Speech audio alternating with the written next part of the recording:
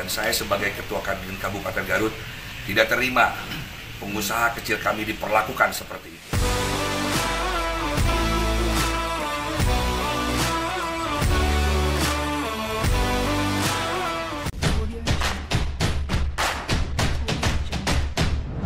Halo pemirsa, bertemu lagi bersama saya Borunaga.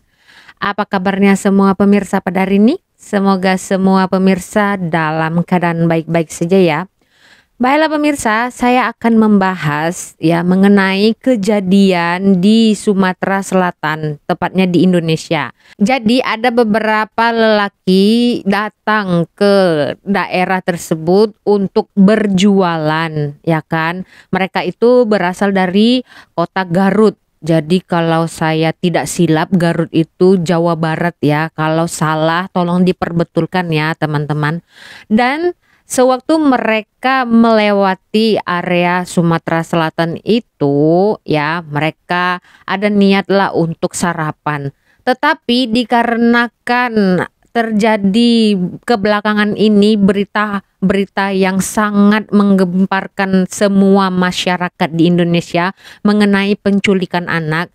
Jadi mereka itu dicurigain yang mau jualan ini ya mau jualan baju ini mereka dicurigain sebagai penculik anak-anak. Jadi orang-orang warga di situ berpikiran ya mencurigai mereka akan menculik anak-anak di lokasi tersebut. Jadi seperti apa kita akan langsung lihat saja ya kronologi lebih lengkapnya seperti berikut ini. Malang nasib lima pedagang jaket ini jauh-jauh dari Garut dituduh penculik anak di Muratara. Barang dijarah dan mobil dihancurkan. Setelah diamankan menjalani pemeriksaan, Polres Muratara Sumsel tidak ditemukan adanya pidana penculikan anak. Polisi telah memeriksa 10 saksi, mendalami handphone dan mobil yang digunakan. Semuanya clear, tidak ada indikasi kejahatan atau hasil dari kejahatan. Polisi mengimbau masyarakat jangan mudah terprovokasi, main hakim sendiri, karena justru bisa memunculkan tindak pidana yang baru. Kapolres Muratara AKBP Verli Rosa Putra dalam keterangan pers pada Selasa 7 Februari hari ini menjelaskan, kelima pria asal Garut Jawa Barat itu adalah pedagang pakaian keliling atau sales jaket. Kita putuskan dalam rapat gelar perkara tadi tidak ditemukan adanya tindak pidana atau percobaan tindak pidana kejahatan khususnya penculikan anak. Itu yang perlu kami sampaikan kepada seluruh masyarakat. Setidaknya atas kejadian ini masyarakat semua mengerti dan memahami serta tenang menghadapi isu-isu yang ada saat ini. Oh, ini mereka. Ya ampun. Inilah kejadiannya ya, pemirsa. Ada warga yang merekam. Lihatlah.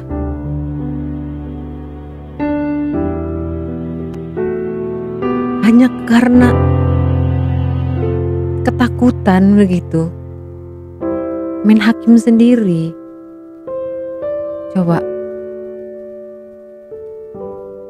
Padahal mereka ingin mencari rezeki ya kan. Nih. Dihancurin begitu coba. Lihat tuh.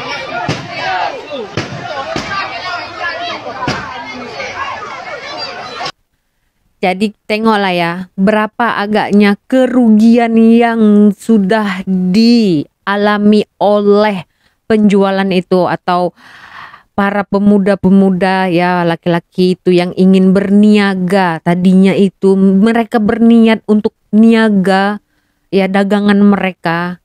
Tapi karena warga ketakutan akan berita-berita yang belum pasti main hakim sendiri begitu. Tapi saya salut ya karena ada tindak balas yang memperjuangkan hak mereka ini sehingga mereka langsung dibawa ya ke jalur hukum agar mendapat keadilan. Jadi kita saksikan saja apa ya keputusan dan juga tanggapan oleh uh, pihak di Garut sana. Seperti ini videonya. Saya sudah mengetahui dan saya sebagai Ketua Kadin Kabupaten Garut tidak terima pengusaha kecil kami diperlakukan seperti itu dipitnah sebagai penculik diruksak kendaraannya dikeroyok oleh massa dan barang dagangan juga dijarah. Makanya saya hari ini sebagai ketua Kadin menunjuk pengacara dari Kadin, Kang Budi Rahardian dan pengacara dari PC Nahdlatul Ulama untuk advokasi mereka, mendampingi mereka agar mendapatkan keadilan yang seadil-adilnya. Dan saya berharap proses hukum ini terus berlanjut sampai di meja pengadilan. Mantap. Untuk ini proses hukumnya ke pengacara sendiri kan informasinya sedang upaya damai. Nah, kalau menurut kacamata hukum kuasa hukum seperti apa biasanya? Eh, terkait dengan hal itu tentunya kami nanti akan mendalami secara detail eh, perkara ini tentunya kalaupun ada restor- restoratif justice atau penyelesaian hukum secara damai itu tentunya ada aturan-aturannya itu eh, prinsipnya bagaimana supremasi hukum ini harus ditegakkan di mana hukum ini eh, pada prinsipnya harus menganut ajas eh, kepastian hukum, ajas keadilan, ajas kemanfaatan hukum. Itu eh, yang harus dilakukan. Hmm, Kalau langkah yang paling dekat yang akan dilakukan apa Pak? Eh, Langkah-langkah yang akan dilakukan adalah eh, mengadvokasi dan hal ini tentunya kami eh, dengan pihak keluarga akan melakukan upaya langkah-langkah termasuk mungkin apa membuat langkah-langkah hukum untuk mendorong agar ini tetap harus berjalan. Sehingga terjadi ada kepastian hukum yang didapatkan oleh eh, baik keluarga maupun semua pihak yang apa merasakan proses ini. Kalau melihat Ya wajarlah harus dipastikan para korban tersebut mendapat keadilan. Bayangin ya mereka itu jauh-jauh dari Garut ya ke Sumatera Selatan numpang lewat tuh ya. Terus dihakimin hanya karena mereka warga-warga di tempat itu ketakutan akan case penculikan anak. Jadi yang saya tanya sekarang ini ya, apa di sana nggak ada polisi ya? Ya, di sana itu nggak ada polisi ya. Di Indonesia sana nggak ada polisi ya. Kok kenapa kalian harus main hakim sendiri? Hah? Kalau memang merasa ketakutan, kalian telepon polisi. Di Indonesia kan ada polisi. Jangan main hukum sendiri begitu, main hakim aja ya sampai harta benda orang lain itu rusak seperti itu. Dan yang lebih parahnya, kalau memang warga di situ ketakutan, kenapa barang-barang jualan mereka itu, para korban itu kalian rampas, kalian ambilin, kalian jarah. Jadi ini maksudnya konsepnya apa coba? Emang dasarnya takut karena ada kes-kes penculikan anak katanya atau hanya bertopekan ketakutan. Jadi memang niatnya untuk ngerompak, ngambil ya kan, tapi bertopengkan ketakutan gitu. Kalau memang rasa ketakutan, nggak usahlah diambil barang-barang orang. Itu sama aja kalian mencuri. Ya, kalau memang kalian ketakutan, ya telepon aja polisi. Di Indonesia ada polisi, di sana ada polisi. Ya, polisi tahu apa yang akan mereka lakukan. Aparat-aparat di sana mereka tahu apa yang harus mereka buat. Bukan kalian main hakim sendiri. Nah, jadi saya contohin ya di Malaysia ini ya bukan saya ingin membandingkan begitu. Di Malaysia ini ya dulu juga ada tuh case-case seperti itu ya. Isu-isu panas penculikan anak. Tetapi warga di sini mereka nggak main hakim sendiri. Jadi kalau ada kecurigaan seperti ada apa kendaraan yang memang ditakuti mereka ya ataupun memang itu membuat salah satu contoh-contoh ya kendaraan yang selalu culik anak begitu mereka nggak langsung main hakim sendiri. Jadi kalau ada kendaraan masuk begitu ke area perumahan mereka nggak mereka gebukin tuh enggak ya mereka langsung telepon polisi biar polisi yang menangani itu tugas polisi bukan kita sebagai rakyat yang main hakim sendiri. Sehingga lihatlah terjadi kan kerugian pencemaran nama baik. Ya malulah mereka ya.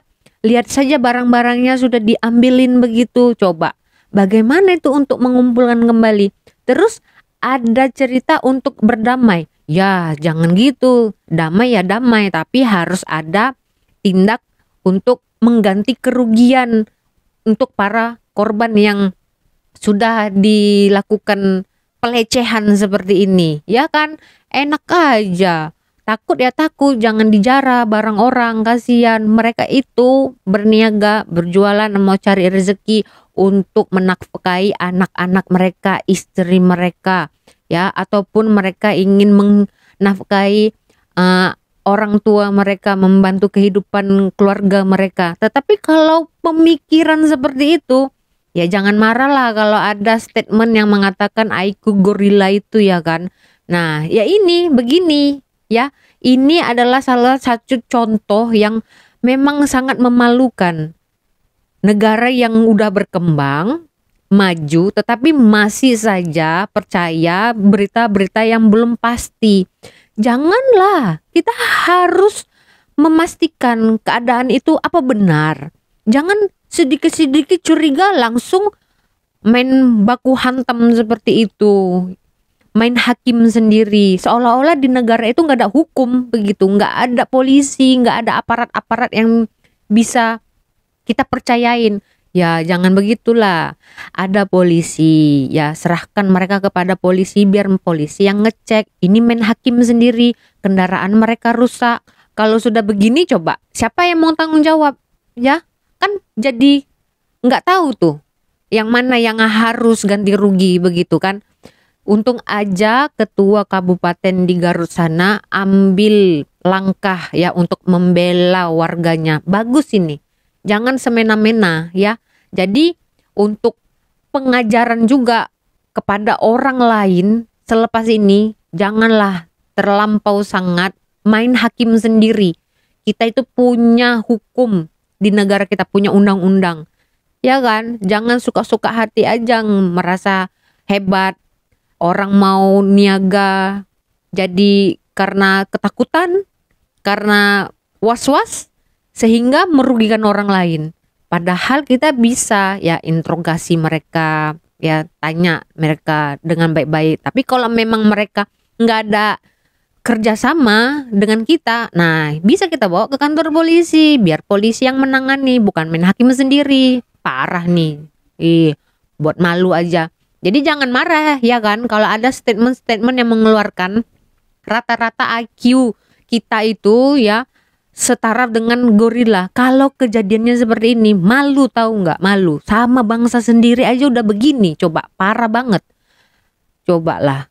Heran aku. Ya itulah ya pemirsa. Semoga keluarga mangsa ya korban-korban yang telah dirugikan nama baiknya, harta bendanya, mendapat kesabaran dan juga keadilan ya kita uh, terus pastikan mereka mendapat keadilan jangan mau dirugikan seperti ini ya kan parah ini seharusnya ada nih undang-undang untuk nangkepin orang yang nyebar-nyebar hoax ini ya kan parah banget begini kan apa kejadian yang belum pasti tuh udah ditelan mentah-mentah ini mengerikan seperti ini untung aja nggak dibakar ya kan kalau sampai dibakar coba apa enggak aduh Parah, parah. Jadi begitu saja ya pemirsa di video hari ini. Kita berjumpa lagi di video selanjutnya. Saya Borunaga. Terima kasih. Bye-bye.